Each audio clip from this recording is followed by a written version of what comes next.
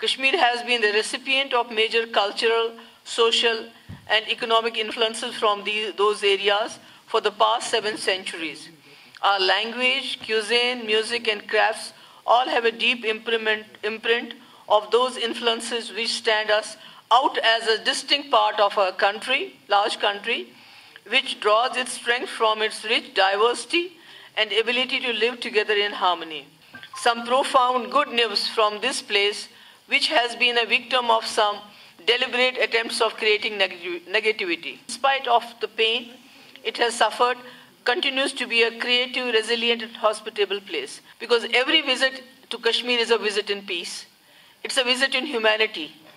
Because we, we have suffered a lot, our state has suffered a lot for last so many years, and uh, uh, to connect with the global world, to connect with the outside world, and to, you know, have a people-to-people contact. It helps us in restoring a sense of normalcy and a sense of peace, and I'm sure your contribution is definitely going to help us do that.